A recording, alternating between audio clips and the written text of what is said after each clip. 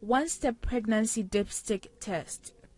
Learning objectives. The student is supposed to know the biochemical principles behind pregnancy tests and also be able to describe the test and know the clinical application of the test.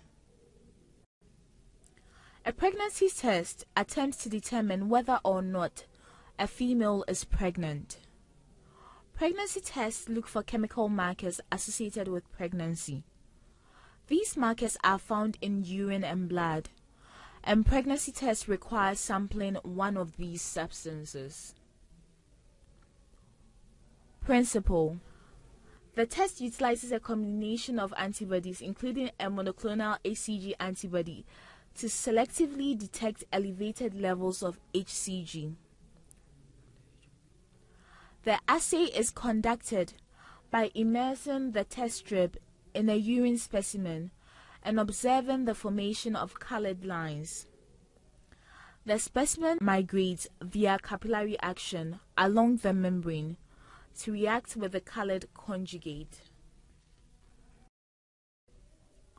The one step pregnancy dipstick test involves the use of a one step pregnancy test strip.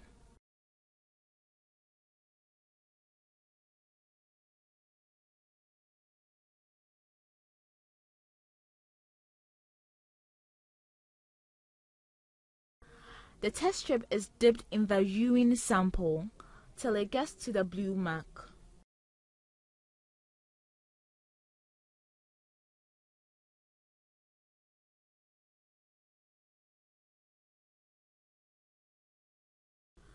The test device is then allowed to develop.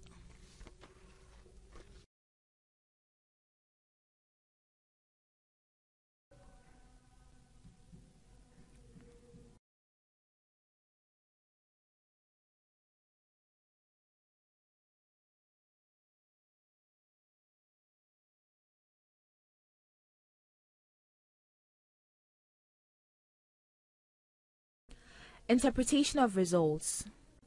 For a negative result, one red line appears in the control region C, and no apparent red or pink line appears in the test region T.